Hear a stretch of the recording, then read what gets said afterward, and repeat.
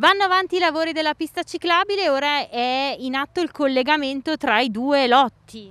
Sì, è la, la parte mancante, finanziata con 150.000 euro, sono iniziati i lavori da dieci giorni, noi pensiamo di completare questa infrastruttura determinante per il territorio entro il passaggio del Giro d'Italia, quindi per maggio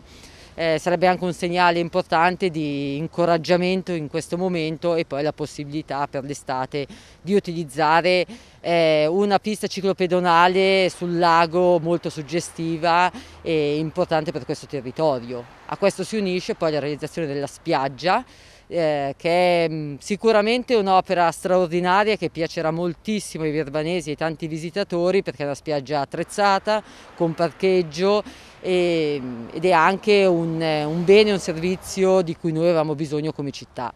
E poi sempre per l'estate ci saranno novità anche per Suna.